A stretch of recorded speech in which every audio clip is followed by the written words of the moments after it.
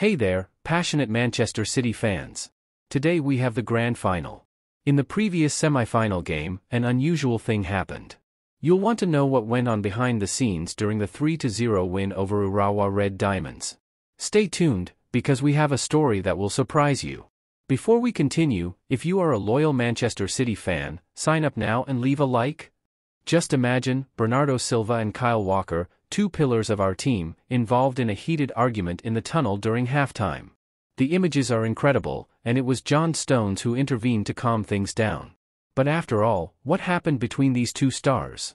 According to the Manchester Evening News, the conversation between Walker and Silva almost turned into a real clash, but Stones' entry resolved the situation.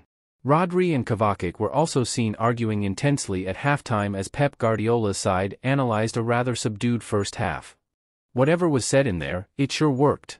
Manchester City came back with everything in the second half, scoring two goals in seven minutes. Bernardo Silva closed the victory with the third goal in the 59th minute. And look, after the game, he praised Walker. A true spectacle of overcoming and teamwork. So, fans, there is no problem at Manchester City.